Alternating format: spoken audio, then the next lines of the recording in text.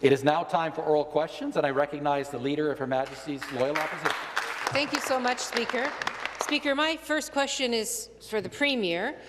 Uh, Speaker, back on May 24th, the Premier announced uh, that uh, people should line up for asymptomatic testing of COVID-19. And in fact, this is opposite from the advice that he was being given by experts, including his own Chief Medical Officer of Health, and we all recall uh, the results. Uh, we, we, saw what happened. Uh, and in fact, uh, it, the the Premier's own minister uh, was uh, on the side of the experts and uh, pretty concerned by the sounds of it, uh, because at the Commission, uh, here's what she said. At the Commission into Long-Term Care, the Minister of Health said, in distancing herself from this decision, quote, I would say that this was something that was very important to the Premier and that you would really need to speak to him about that. So, Minister of Health and at least three of the government's top experts all you know, uh, all were advising the Premier against question. massive asymptomatic testing. So the question is, why did the Premier ignore the expert advice, ignore his own minister, and claim he was acting on the advice of the Chief Medical Officer of Health, uh, and in fact he was doing the opposite? Minister of Health for a comment. Thank you. Well, I can certainly say at the time we were very concerned about community transmission. We were concerned about community transmission, which was then finding its way into our long-term care homes because there were people coming in, essential visitors, sometimes staff, who were asymptomatic. It was something that was concerned to the Premier, was concerned to me, it was a concern to the Minister of Long-Term Care, it was a concern to everyone. And so as a, a precautionary matter, the Premier felt very concerned that we do something and start doing that asymptomatic testing so that we could stop that eight community transmission, but especially that transmission that was going into long-term care homes. The supplementary well, question. Speaker, we all know that the consequences of this uh, of, of, this decision of the premier's, uh, which was contrary to the advice he was being given, uh, were serious. Uh, our lab system became overwhelmed. People could not get the test results uh, adequately or quickly enough in long-term care, which cost folks their lives. There were lineups. We remember those pictures. Lineups of families with children, sometimes for hours and hours and hours on end to get those tests. It was a debacle. So I, I, guess my question is to the Premier, why did he suggest that he was taking the best advice necessary to save lives, when in fact he knew he was ignoring the best advice? Minister of Health. In fact, that was not the case at all. As we were increasing the testing, we were also increasing the lab capacity, which, as the member may recall, started at about 3,000 tests on a daily basis through Public Health Ontario and grew to a system where now we are able to process over 100,000 tests in a day. At about that time, we had significantly increased our capacity and built a network in very short order, including hospital labs, university labs, community labs, as well as Public Health Ontario. So as we were increasing the testing, we were ensuring that we also had the lab capacity to be able to deal with that. Final supplementary. Well, Speaker, look, it's it's not just the testing. The Premier uh, ignored or, or, or, acted contrary to advice on the testing, as we've just talked about, uh, on the risks uh, uh in terms of what was happening uh, to vulnerable people in long-term care, uh, on the framework that the government first announced on all of these in all of these situations. The Premier did not act on the advice of experts or, in fact, his ministers. In fact, the Minister of Health, again, couldn't defend defend the Premier and said to the Commission, you really need to speak to the Premier about that regarding uh, the testing. So, look, why did the Premier claim he was acting on expert advice when, in fact, it's very apparent he wasn't? And will he attend the Long-Term Care Commission himself to put that question, uh, to have that question asked. Will he voluntarily go to the Commission and tell everybody why he made those decisions? Minister of Health. In fact, the Premier has indicated and he has followed the recommendations of the Dr. Williams, the Public Health Measures Table, Public Health Ontario, every step of the way from building up our testing capacity, building up our lab capacity, getting the vaccines and setting up the commission that he has with the immunity, uh, the uh, vaccine task force. Every step along the way he's followed the medical advice, which has gotten us to a place, I would indicate, where Ontario right now and the actions speak louder than words. Ontario right now stands at 72 cases per 100,000, the lowest in Canada except the Atlantic bubble. So I think that something has been done right. The Premier has followed the expert advice of the medical advisors, and it's serving Ontario well.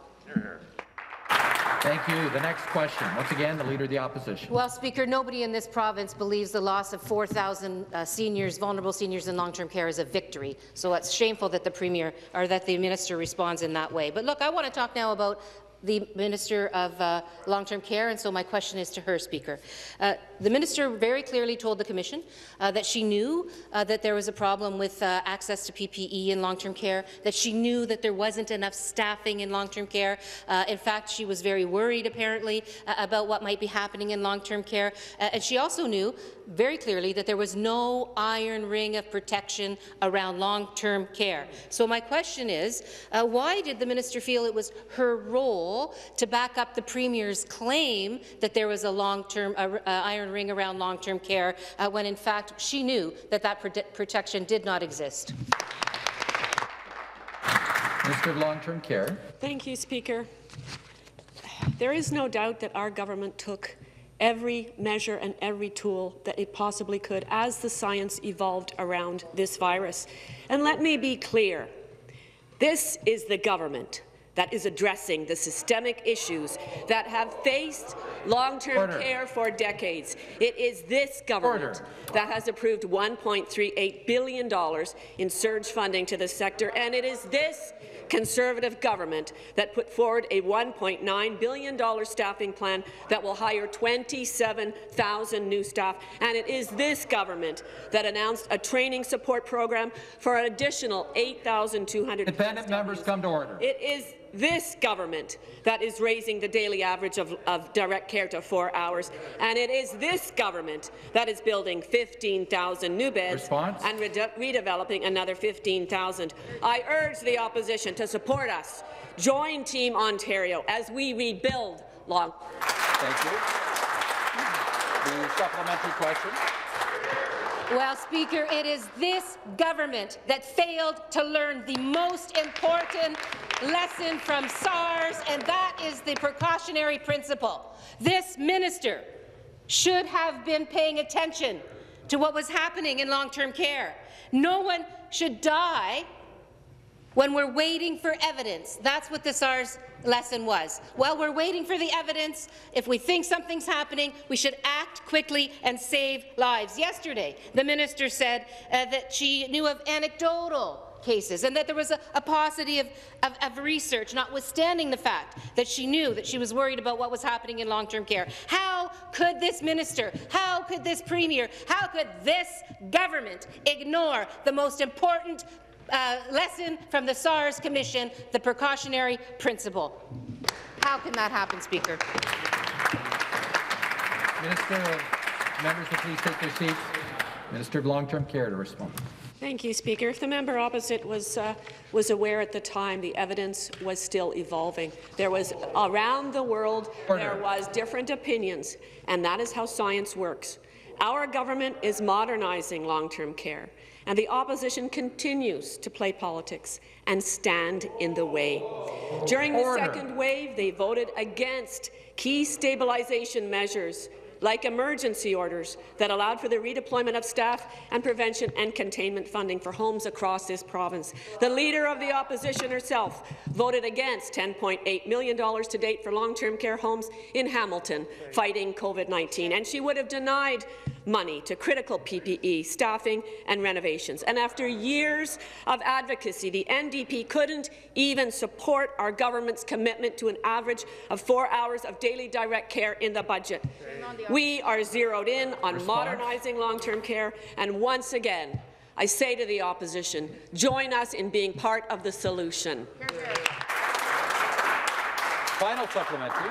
Speaker, this government and this minister and this premier did not take the most important lesson from SARS. You don't wait for the evolution of a crisis where thousands upon thousands upon thousands of people die because you didn't bother to get ahead of it and take the lessons that you should have taken.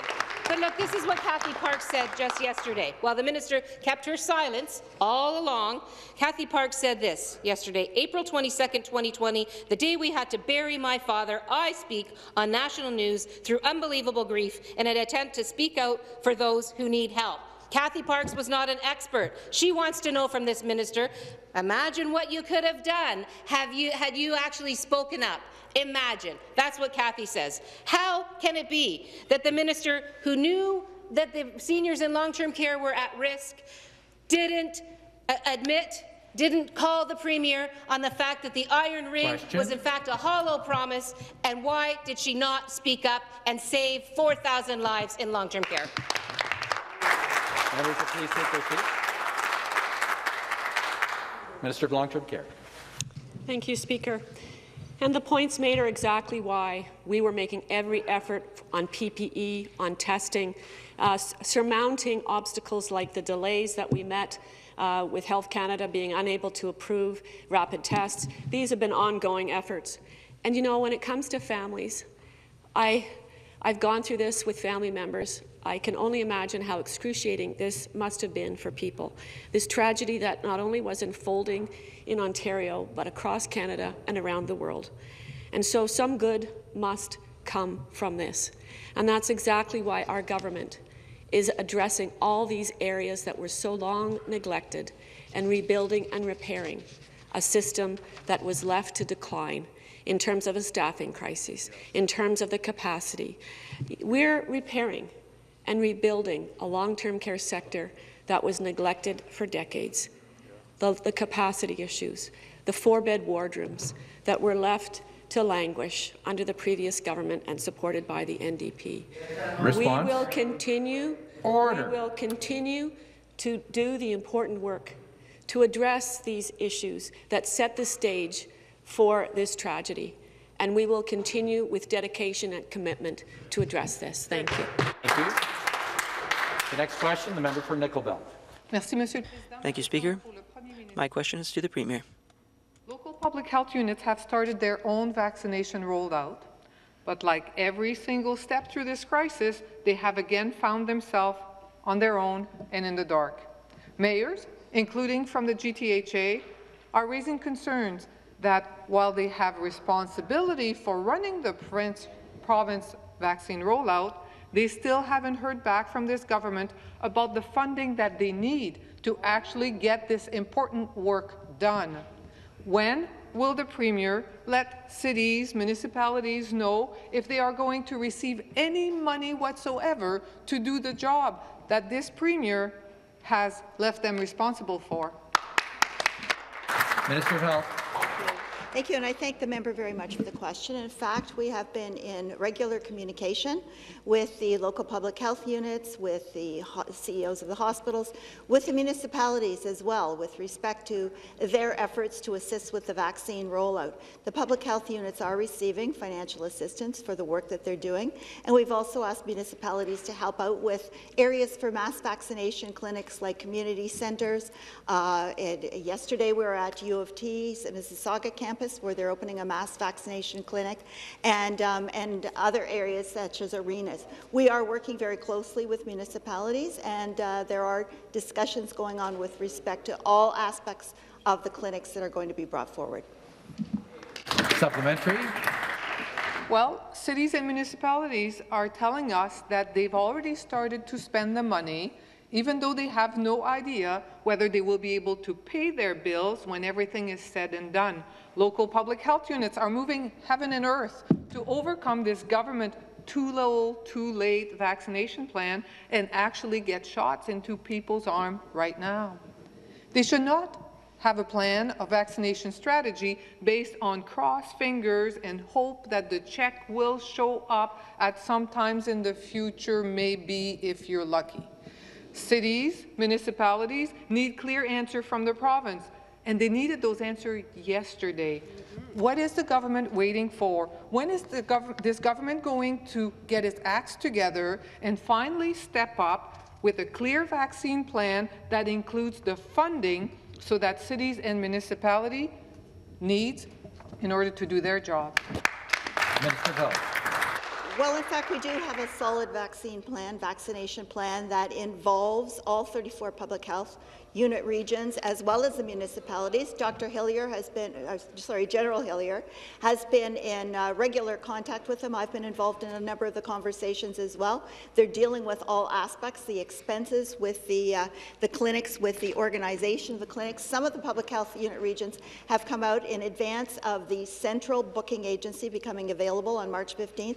They're already booking uh, clients to come in to receive their vaccines that are over 80. In fact, in Guelph Wellington area, they've already uh, vaccinated over 50% of their over 80 population. This is in the context of working within the system that we have. Once our big system comes online on the 15th, it was tested yesterday because we don't want to see it fail as it has in other jurisdictions. We want it to be solid Response? stand up to the pressure that we know that is going to be coming because people are anxious to know when they're going to be receiving the vaccine. But it is a solid plan, it is rolling out, and we're making sure that people are receiving the vaccines in a timely manner.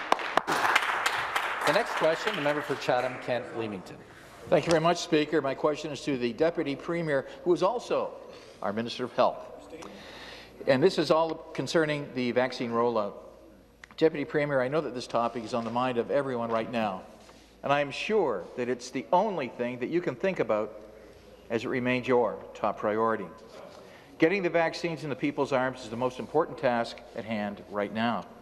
And I know under the leadership of General Hillier, our province is in steady hands as we are implementing a great plan that has ensured that top priority populations are being fully vaccinated.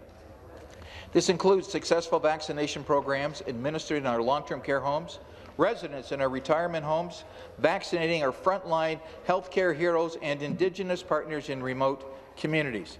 Speaker, can the Deputy Premier please share with my constituents in Chatham-Kent Leamington more information about the vaccine, vaccination rollout and what it means to all Ontarians?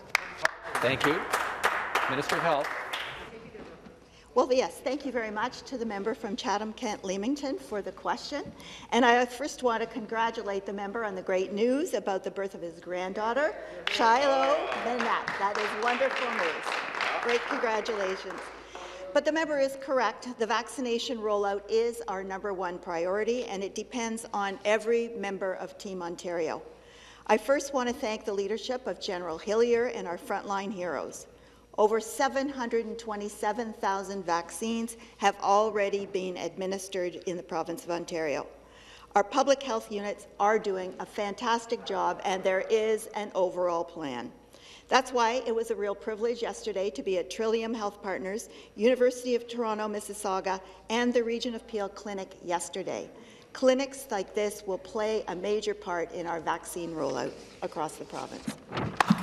Order.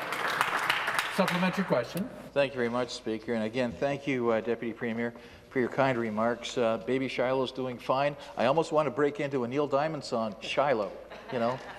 However, we are seeing innovation and leadership throughout this province from different public health units. In my region, the Chatham-Kent Public Health Unit has begun vaccination appointments for those over 80 years old.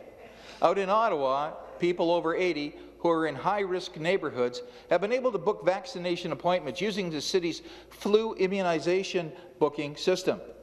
In Toronto, a pilot program to bring COVID-19 vaccines directly to Toronto seniors living independently is already up and running. And in Guelph, they've begun the process of vaccinating uh, residents over the age of 80 after completing vaccinations for residents and staff at all of the long-term care and retirement homes.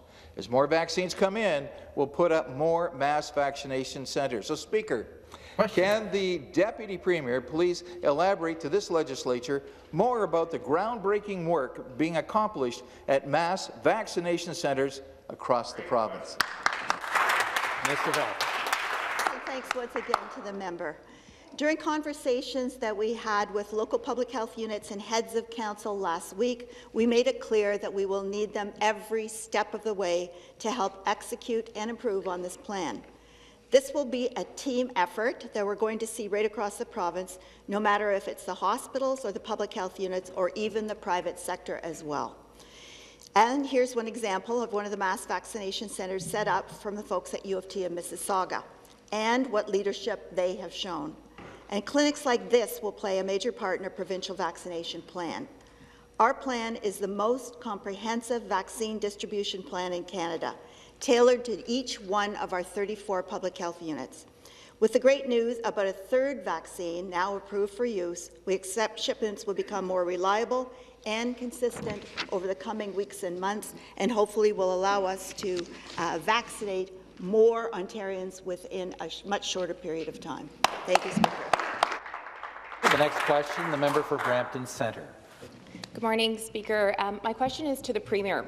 Yesterday, this government once again voted against giving workers in Ontario paid sick days, voting instead to continue forcing families in places like Brampton to choose between going to work and getting sick or staying home but not being able to pay the bills.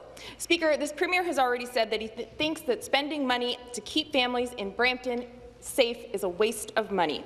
Speaker, why does the Premier think that families in Brampton aren't worth investing in? Minister of Labour, Training and Skills Development. Thank you uh, very much, Mr. Speaker, and I'm pleased to rise uh, to uh, answer this question uh, once again.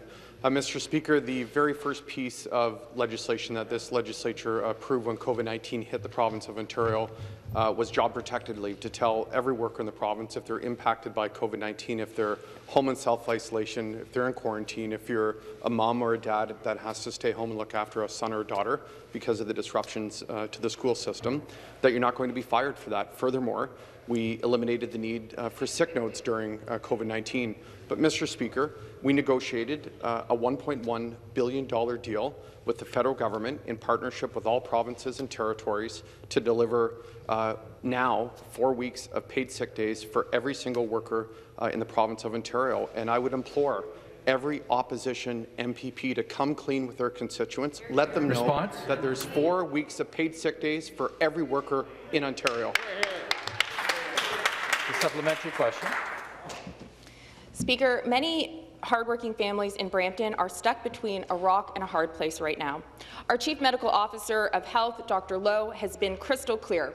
Essential workers across the region of Peel are still going into work sick because they cannot afford to miss a day of work. Our mayor has been clear. Paid sick days will save lives in our city. Speaker, families in Brampton have been on the front lines of this crisis, but years of neglect by the Liberal government in our healthcare system have strained our healthcare resources, and now large numbers of essential workers are being ignored by this Conservative government. Speaker, again to the Premier, despite what this government thinks, Families in Brampton are not a waste of money. It's actually the fiscally prudent thing to do so that we aren't straining our healthcare resources in our city. Speaker, when is this government going to stop fighting New Democrats and finally give families in Brampton the paid sick days they need to stay safe? Members will please take their seats. Minister of Labour to reply once again.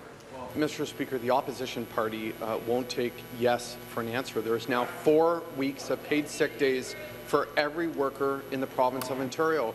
And, and Mr. Speaker, to quote the Leader of the Opposition on February 16th, she said, what we want to see is paid sick days in Ontario. 10 paid sick days, seven. Rather 10 sick days, seven paid, and yes, that would be employers' responsibility. Mr. Speaker, there's $800 million left in the bank account. There's four weeks of paid sick days for every worker in the province of Ontario. It's up to every elected official to let the workers know that this program is out there for them. That's what we're doing on this side of the House. You should join us. Again, I'll remind members to make their comments through the chair, not directly across the floor. The next question, the member for Ottawa South. very much, Mr. Speaker. My question is for the Minister of Long-Term Care. Speaker, I've read the minister's testimony before the Long-Term Care Commission. And in it, she repeatedly states that she raised concerns about staff working in more than one home, asymptomatic transmission, and the need to stabilize the workforce. And clearly, given the minister's training and experience, she knew there was a lot at stake. So last spring, BC and Quebec moved quickly to stop workers from working in more than one home and to raise their wages to stabilize the workforce. It took Ontario one month to do the same. One month in a pandemic. So, Speaker, through you, can the minister explain why it took so long for Ontario to take the same action as BC and Quebec? Minister of Long-Term Care to respond. Thank you, Speaker, and thank you to the member opposite for the question. Uh, you know, in hindsight, you go back and you say what was happening, what was the historical information that was understood at that time. And many, many people were working around the clock to address these issues. If we look at long-term care homes, they were in the front lines against COVID-19, not only in Ontario but around the world. And we were using every option at our disposal to prevent and contain the spread of this virus. We implemented surveillance testing for residents and staff and this helped to slow the outbreaks by catching new cases early. And the Premier pushed personally, and so did I, to have every resident and staff member tested in Wave 1 as part of our testing strategy, which is absolutely key to asymptomatic spread. Despite the reluctance of some, we pushed for implementation of rapid testing in Wave 2, and more than 1.5 million, uh, uh, million rapid tests have been shipped to over 550 homes. The previous government, propped up by the opposition, had 15 years to bring about the quote-unquote revolution in long-term care. Thank you. Order. The supplementary question. Here, the Minister of Health said that the Premier blew testing wide open which impacted long-term care. So I'd like to remind the minister of that. And it's like we learned nothing from the first wave. So last June, Quebec said we need to get out, we need to get 10,000 PSWs, and they went out to find them. They only got 7,000. But at the same time, homes were begging this minister for a plan. That plan came in September. And in that plan, there was $14 million to recruit and train PSWs and $42 million for security guards in long-term care. The plan didn't protect residents from the second wave. More people died in the second than the first. There was no iron ring. So the minister announced last week the same plan, essentially the same plan that Quebec did eight months ago. Eight months ago in a pandemic. It's too late, Minister. Question. So, Speaker, through you to the minister, why did it take your government eight months to do to announce the same staffing, staffing strategy as Quebec did last June? Minister of Long-Term Care. Thank you, Speaker. You know, if the member opposite would, would get his facts straight, it would be much easier to have a discussion. The reality, the reality is Quebec hired orderlies. They are not PSWs. Quebec, Quebec, was not able to hire 10,000, and they lost uh, uh, trainees in through attrition, who then had to pay back the government. Uh, this is not the approach that we took. We used the resources that were available to us, making sure that we we we both sides of the house come to order. We marshaled the hospital sector. We made, created matching portals, and and many of our efforts helped homes in stabilizing their, their staff. And it's been neglected for many, many years. And our government knows that the previous efforts by the previous government, supported by the NDP, were grossly deficient. So we're committed to increasing quality care and $1.9 billion by 24-25 uh, annually to go to supporting the, the requirement for 27,000 new positions. We've taken action all, all through this and at 115 million to help train 8,200 new personal support workers. The next question, the member for Chatham-Kent Leamington. Thank you very much, uh, Speaker. Uh, my question is to the uh, Minister of Government and Consumer Services. Speaker, ski resorts and amusement parks are an important economic driver in Ontario, and they play a critical role in the success of Ontario's tourism sector. These attractions employ thousands of Ontarians and contribute to Ontario being a truly four-season destination. There are also countless businesses and jobs that rely on the success of these attractions. Throughout the COVID-19 pandemic, ski lift and amusement device operators have been acutely impacted. Just yesterday, Speaker, I met with two ski resort York owners Centre, come to via order. Zoom who shared their hardships that they've experienced due to COVID. Now, ensuring that these businesses and world-class attractions they support have the support they need throughout the pandemic, that is a priority of our government. So can the Minister of Government Question. and Consumer Services speak to the support being provided to ski lift and amusement device operators? Minister of Government and Consumer Services. very much, Speaker, and uh, thank you to the member from Chatham-Kent. Not only is he a very proud grandpa, but he's very proud of his riding, and I know he works so hard because of that pride. And I'm pleased to answer his question with regards to what our government is doing to provide relief not only for ski hills, but amusement parks across Ontario. And if we're doing this, we're facilitating this through our oversight of the Technical Standards and Safety Authority, as well as the Electrical Safety Authority as well.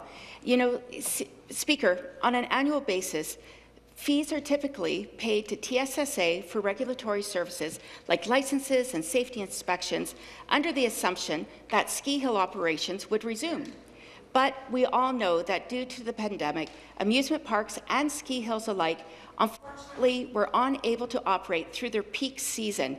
So, Speaker, I'm very pleased that to share with you that these fees for this year will be returned to them and we're providing approximately $2 million in financial support to enable TSSA to refund the fees already paid for the 2021 season, and we're reducing ESA's oversight for the up. Thank you. Yeah, thank you very much. Supplementary. Uh, Thank you very much, Speaker, and thank you, Minister, for that uh, insightful response. This is very welcome news. Speaker, by providing financial support to the ski and amusement sectors, we are helping to address the financial barriers that many ski lift and amusement device operators are facing. Ensuring that these attractions are around after COVID-19 pandemic is important to enable a healthy tourism sector. The recovery of this important sector will be largely dependent on Ontario's success in combating COVID-19 pandemic. So, therefore, Speaker, can the Minister of Government and Consumer Services explain what further supports may be available to support this very important industry? Minister of Government and Consumer Services. Thank you, Speaker.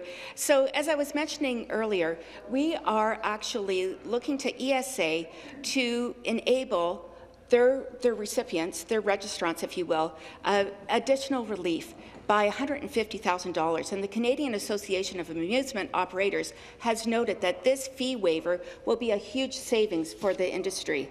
And over and above that, beyond the two oversight fee waivers, supplementary transfer payment funding up to $175,000 may be available to TSSA in the current fiscal year on an as-needed basis to help with the provision of additional temporary relief.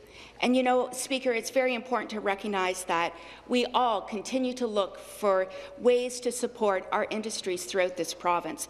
But I'd also like to take this moment to give a shout out to TSSA. They've hit a milestone. I'd like to congratulate them on the release of its new Customer Relationship Response? Manager IT system. This is another critical step to modernizing as a regulator and moving towards a risk-based approach as technical safety and standards of our, are upheld in Ontario. Thank you very much. The next question, member for Thunder Bay, Atikokan. Thank you, Speaker. My question is for the Premier. Thunder Bay is still in a COVID crisis. Our cases keep rising. We're in lockdown. Our hospital uh, is filling up. Finally, more resources are on the way, but this government took so long. More help is needed. For months, the opposition has proposed sensible choices like paid sick leave and capping class sizes so we can stop this lockdown cycle. Yet this government won't work with us. What is this government's plan to help Thunder Bay for the long run, to make sure this doesn't happen again? Deputy Premier and Minister of Health. Well, thank you, uh, Speaker, and thank you very much to the member for the question. This is an obvious concern of the, with respect to the breakouts in Thunder Bay, and that's why last week uh, the Chief Medical Officer of Health, working with uh, the local medical officer, decided to apply the emergency brake to put Thunder Bay into grey lockdown area to prevent further transmission and to make sure that our hospitals and healthcare services are not being overwhelmed. Additional supports have been provided. There's been additional money that's been placed into the hospital to allow for more beds to be created. But it is the variants of concern that are a, a priority right now in dealing with them, trying to get them under control. We know from the modeling that's been done that the variants are going to become the dominant strain within the next several weeks. So that is something that uh, the Dr. Williams, the local medical officers of health, and the uh, the vaccine task force, of course, is working to do vaccines Response. as quickly as possible. But we're very aware of the concerns in Thunder Bay and are sending extra help to, uh, to help the local medical officer of health deal with this outbreak. Supplementary question? Again, my uh, uh, question is for the Premier. While we're on the subject of COVID of, in Thunder Bay, I wanted to speak about providing health care at home. As we struggle with high rates of community spread in Thunder Bay, we could provide care at home instead of hospitals. This is one more way we could keep people safe. My constituent Shauna receives transfusions every day at the Thunder Bay Regional Health Science Centre. Shauna would greatly benefit from having her treatment in her home, but because she can take care of herself without help, transfusions at home are not funded. What will the ministry do to help as many people as possible to stay safe and receive the health care they need at home? Minister of Health. Thank you. Well, the member is absolutely right that we are doing whatever we can to make sure that people can be treated at home if their uh, health condition permits it. That's why we uh, passed the Connecting People to Home and Community Care Act, which is going to modernize the delivery of home and community care by um, bringing an outdated system that was designed in the 1990s into the 21st century. There are many conditions where people can be treated at home. Dialysis is one example, overnight dialysis and others as well. But we're taking further steps to make sure that we are going to be able to allow people to stay in the comfort of their own home to, uh, to uh, receive treatment, either by visiting nurses or personal support workers or in some cases, we're able to make sure that we can connect people to, um, to a virtual assistance so that they can monitor their conditions at home without having to, uh, to go either out to see their family doctor or to be admitted to a hospital. So we are redesigning and modernizing the system so what you've suggested uh, can actually happen, that people can be cared for in their own homes. The next question, the member for Don Valley East. Well, thank you very much, Mr. Speaker. My question is to the Minister of Long-Term Care. Minister, your testimony to the Long-Term Care Commission makes it clear that while you and your Deputy Minister were concerned and you actually advocated for stronger and earlier restrictions in long-term care, those concerns were ultimately ignored. On June 17, 2020, the Premier told this House that the Minister of Long-Term Care had more experience than the entire opposition combined. Speaker, through you, why does the minister believe that the Premier chose not to listen to her, her deputy minister, and her, her ministry over concerns when it came to earlier restrictions and increased staffing in long-term care homes?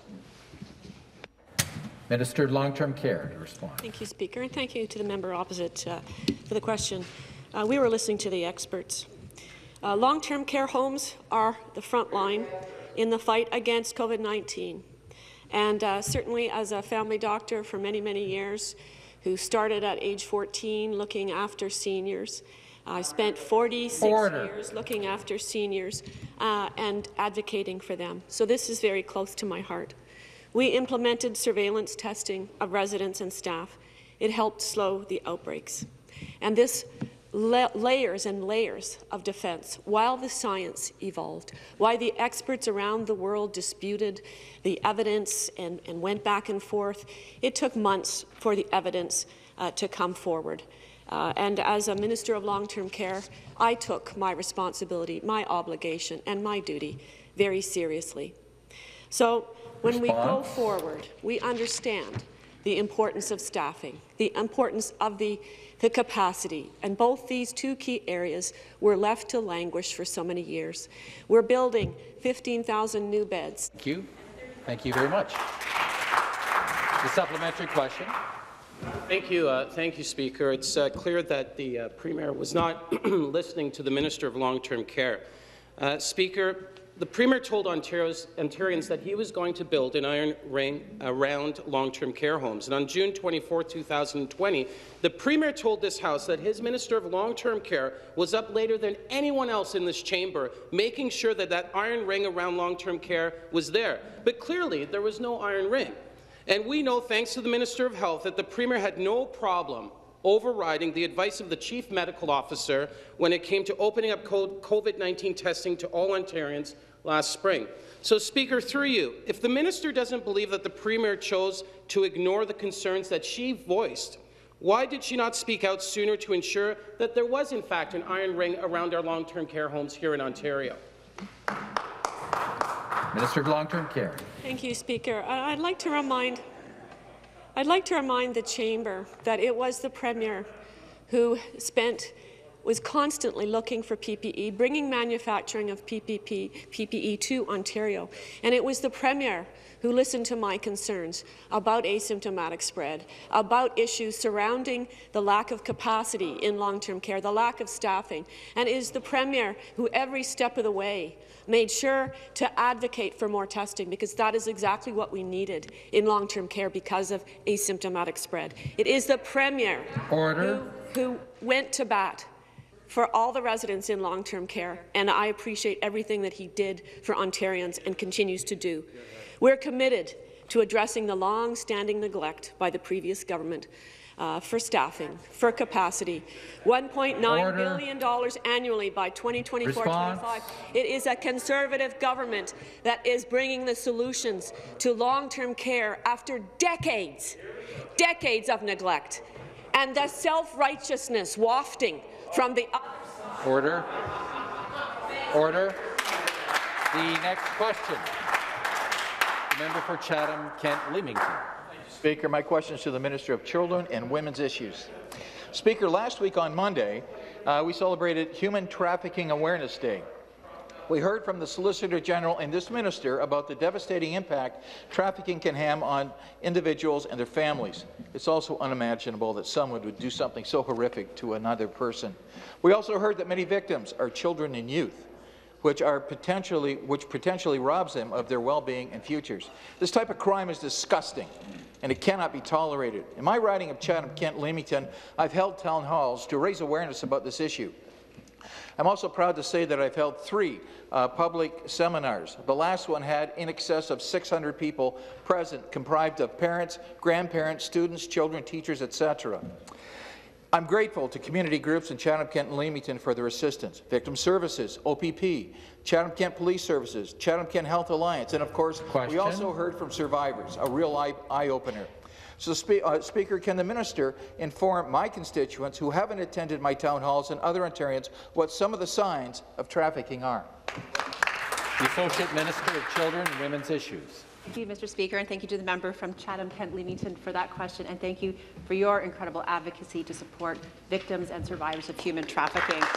And I would encourage all members of this House to host similar virtual town halls at this time. It's incredible that you had over 500 people come out Speaker, raising awareness is the first line of defence in combating human trafficking.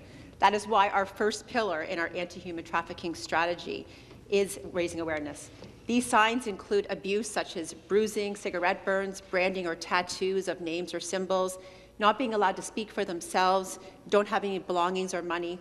For children and youth in particular, as they are being groomed, you may notice that they are withdrawing from family and friends have a second cell phone, they're skipping school and hanging out with older groups of people, wearing new clothes or changing their appearance like hair color. Speaker, these are just some of the many signs that we all need to be aware of. Trafficking can occur anywhere and to anyone. It can be your daughter, Response. your granddaughter, your sister, your best friend at school, your neighbour, or even you. And I encourage all Ontarians to go to ontario.ca slash human trafficking to look for more signs about trafficking and where to get help. Thank you. And the supplementary question. Well, thank you very much, Speaker, and thank you, Minister, for that response. Speaker, the Minister is absolutely right. Raising awareness is the first line of defense, but we cannot do that only in this House. We need to be raising awareness and informing people about trafficking across Ontario. It is imperative that more people understand that trafficking is happening. And it's also equally as important that individuals know where they can go to get help. So I thank the Minister for providing that website. And of course, the phone number is on that website. Speaker, one thing I often hear when speaking about this issue that is only that it only happens in big cities like Toronto and not in small towns or areas like mine. Mm-hmm. There are many other misconceptions about trafficking across the province. Speaker, did you know that 401 it cuts through Chatham, Kent, and it's not too far from Leamington as well. Motel and hotel owners need to be more aware of what's actually going on. Speaker, clearly more needs to be done to inform the people of Ontario, including our children and youth, of what could happen. So, therefore, Question. Speaker, can the minister inform the House what she is doing and what this government is doing to raise more awareness about this issue? Thank you. The Associate Minister. Thank you, Speaker, and thanks again to the member for that question. Speaker, human trafficking can happen anywhere and to anyone, and it is not limited to big cities. That being said, children and youth are more targeted and more vulnerable, as well as Indigenous women and girls, 2S LGBTQ plus individuals, and those in the child welfare system. That is why we created programs last year to help these individuals learn about the signs for themselves and for their friends. I want to commend again the Minister of Transportation for working to raise awareness at ONroutes across the province. Speaker, I am also so proud of our government and the campaign we launched to raise awareness. As many in the House have seen, we have worked to create ads for children, youth, and parents so they know the signs. These ads can be seen across different media platforms. And I also want to encourage everyone to go to Twitter and check out at Stop Trafficking to learn more. It's a great tool to, and full of information.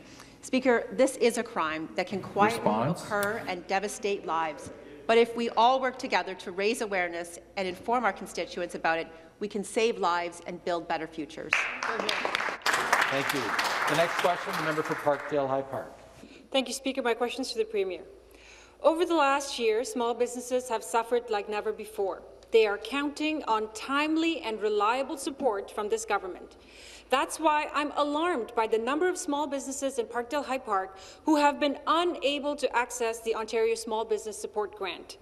Some are waiting for a decision more than six weeks after applying, and others have been denied the grant because of a wrong assessment. Small business owners and workers cannot afford to wait. The bills are piling up. What is the Premier doing to address this? Member for Willowdale, Parliamentary Assistant. Thank you very much, Speaker, and I'm glad to hear the member address the importance of uh, assisting small businesses throughout this very difficult time. Uh, Speaker, uh, I want to remind this House of just a few of the measures we've introduced from the beginning to support small businesses. We reduced property taxes up to 30 percent, a permanent measure for small businesses. The NDP voted against that. Speaker, we reduced the EHT, a tax on jobs. That means 30,000 of the smallest small businesses in this province will save on that tax. The NDP voted against that. Speaker, we invested $680 million in additional investment into broadband infrastructure, bringing the total to a billion dollars. Speaker, the NDP voted against that. In fact, when it comes to actually putting action behind the word, Speaker, the NDP has a lot of tac- talk, but when it comes to the action, Speaker, to support small businesses, what do we get from the NDP? Crickets. The supplementary question. Speaker, one small business owner in my riding has been waiting for weeks just to be able to make a small change to, the, to his application. Another was asked by an administrator to send documents to an email address that doesn't exist. These operational failures are unacceptable for small businesses on the brink of survival.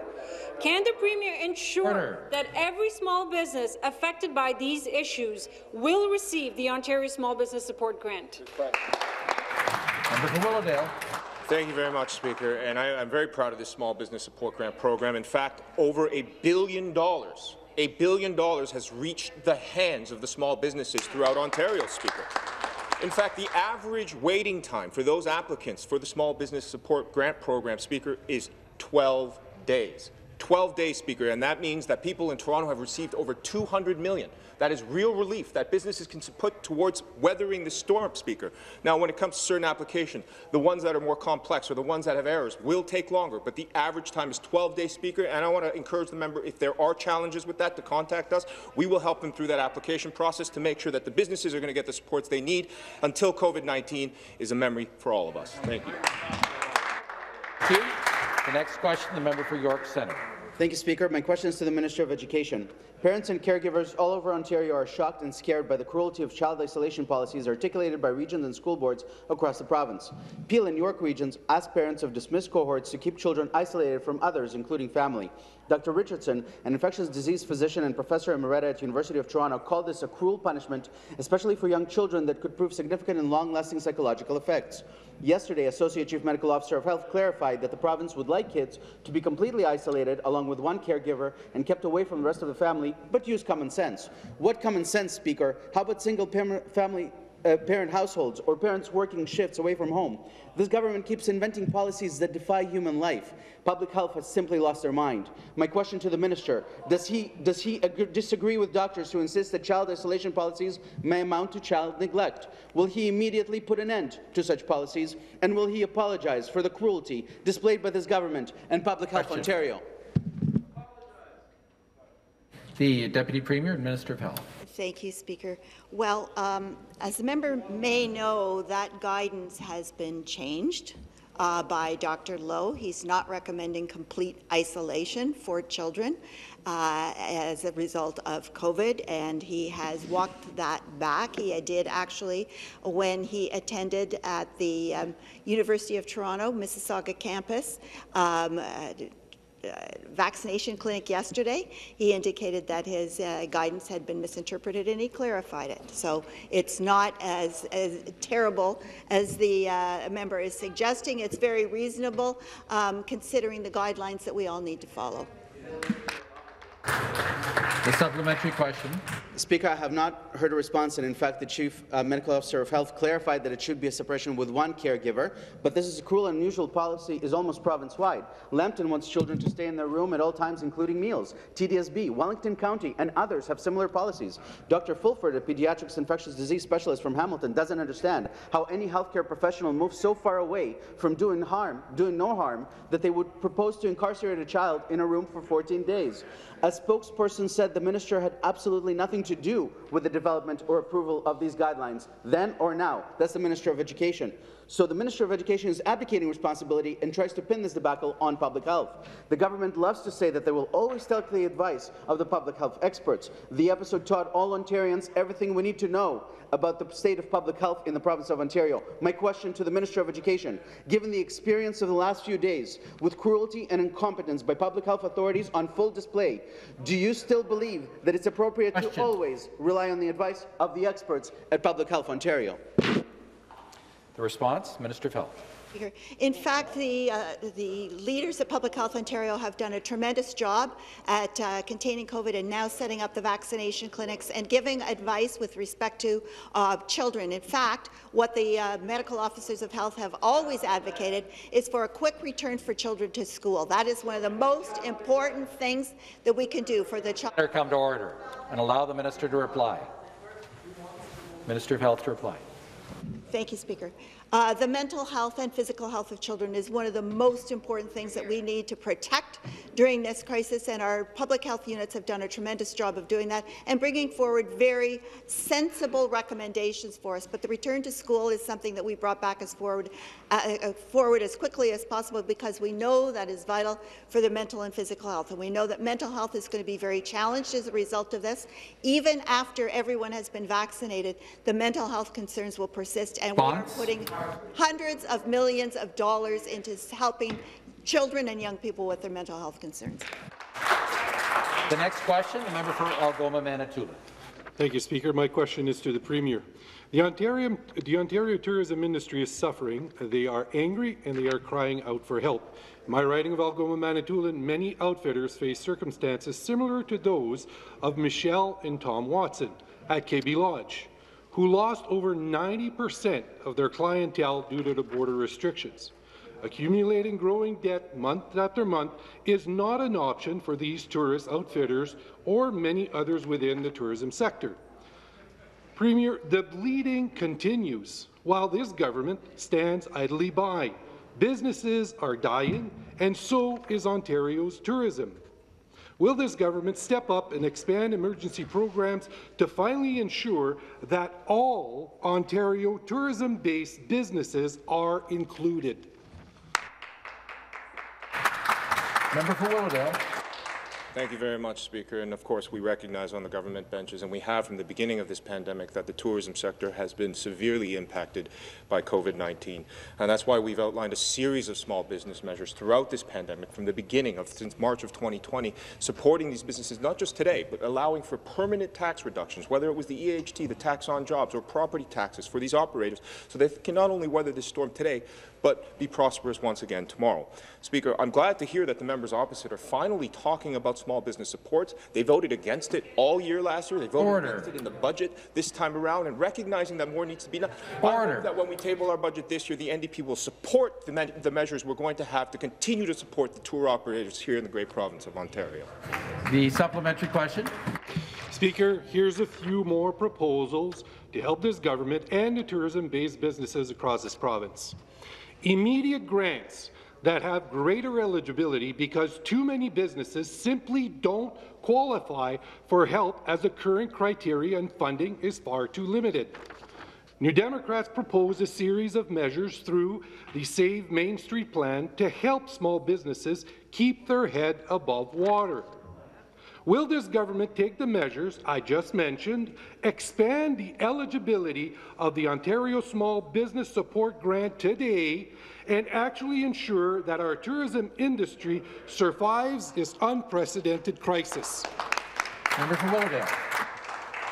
Uh, thank you very much, and, and uh, I want to let the House know that over almost 80,000 uh, successful applications uh, have been granted in the province, and that means that uh, $1.1 billion has been uh, flowed to these businesses who need uh, help right now, recognizing, of course, that the tourism sector has been hit very hard, Speaker. Hundreds of millions of dollars have been allocated to support uh, this ministry. More, of course, needs to be done. More will be done to support these uh, hardworking businesses, and we look forward to working with the members opposite for that recovery path. We're hoping this time around that the members will actually support and vote in favour of those measures that support small businesses, instead of standing in this House Response? every day and rejecting, through action, the support measures that we put in place. We look forward to that collaboration, and I'm encouraged to hear the member opposite uh, indicate that here in the legislature today. Very much. Member for Scarborough, Guildwood.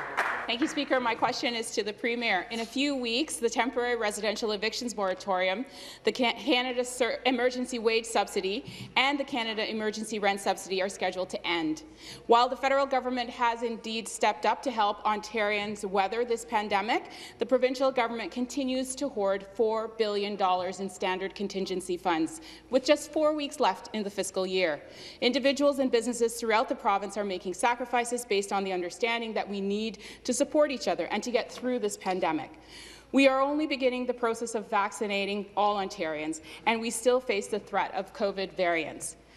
Speaker, small businesses in Scarborough and on main streets across Ontario need certainty.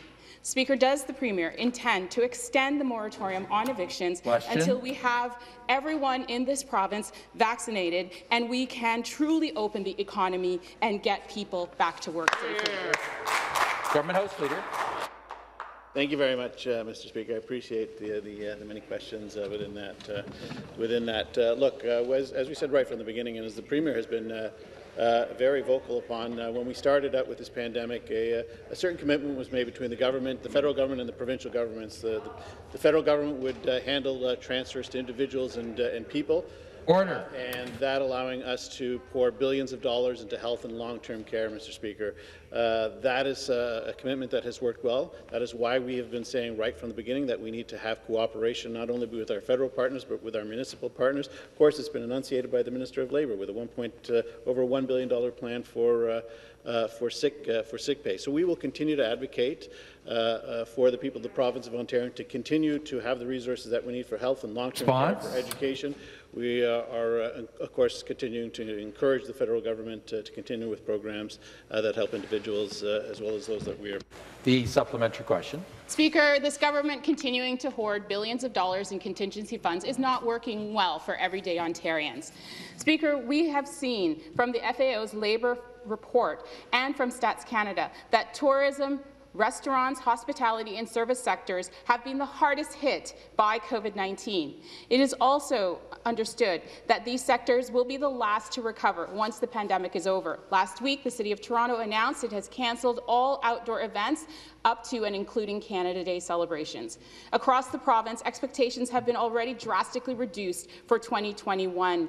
An example of this can be seen in Stratford, where the Stratford Festival announced its season will be merely 5% of normal year's attendance. With more events cancelled or scaled back, the spin-off jobs will, Question. will not come back either. We see a youth unemployment rate of 22%. So is this government in its upcoming budget investing in skills de development for job-seeking Ontarians? Member for Willowdale. Well, thank you, Speaker. And there's a lot to unpack in that, that answer there. More supports will be outlined for small businesses. I look forward to tabling that budget later this month. But, Speaker, the member opposite continues to mention uh, contingency funds. And, you know, I guess the member thinks that if she repeats the same claim again and again, that somehow it'll become true.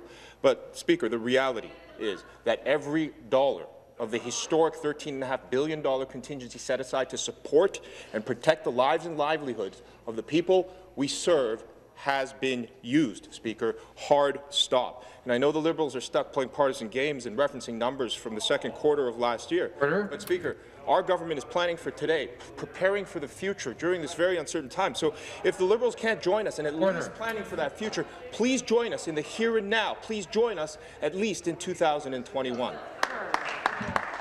Next question, the member for Davenport. Thank you, Mr. Speaker. This question is for the Minister of Education. Speaker, a school in Scarborough is closed today due to an outbreak of COVID-19 where at least four people have tested positive for a variant of concern. As of this morning, COVID-19 cases have now been reported in over 13 percent of Ontario schools, with 23 schools closed due to outbreaks, 262 new school cases. What's just as concerning is the number of asymptomatic cases that we do not know about.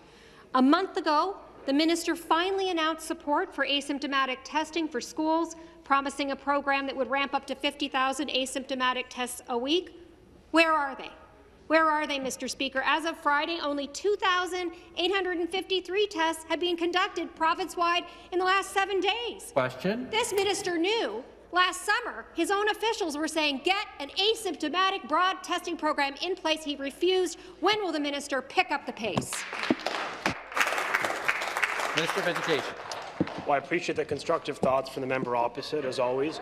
I want to, um, I want to just note, Speaker, some data points because obviously uh, the member opposite has not checked the web, where we uh, actually post our asymptomatic data uh, since we started uh, province-wide this uh, winter, and as we started posting transparently the number of cases, outbreaks, and school closures since last September, one of the few provinces that did that at the beginning. In York Region, we have 18 more schools identified for asymptomatic testing, 31 in Hamilton, 75 in the member city of Toronto, 24 in Ottawa, 11 in Waterloo. The list continues. Let me edify the member on the results so far. In Peel, of the 118 tests uh, conducted in the past days, zero cases were identified. In Hamilton, Catholic, where 114 tests were completed, zero cases were identified. In Hamilton Wentworth, where 142 cases were uh, tests were completed, zero cases were identified. Response? Mr. Speaker, there's about roughly 99.5% of schools that are currently open in the province of Ontario. 99.52% are open. 86.7% of schools have no active case reported at all. We're going to continue to invest to keep our schools safe. Thank you. That concludes question period this morning. I beg to inform the House that pursuant to Standing Order 101C, a change has been made in the order of precedence on the ballot list for private members' public business, such that Ms. Berns-McGown assumes ballot item number 60 and Mr. Glover assumes ballot item number 75. We now have a deferred vote on the motion for second reading of Bill 245, an act to amend and repeal various statutes, to revoke various regulations, and to enact the Ontario Land Tribunal Act 2021. The bells will now ring for 30 minutes, during which time members may cast their votes. I'll ask the clerks to prepare the lobbies.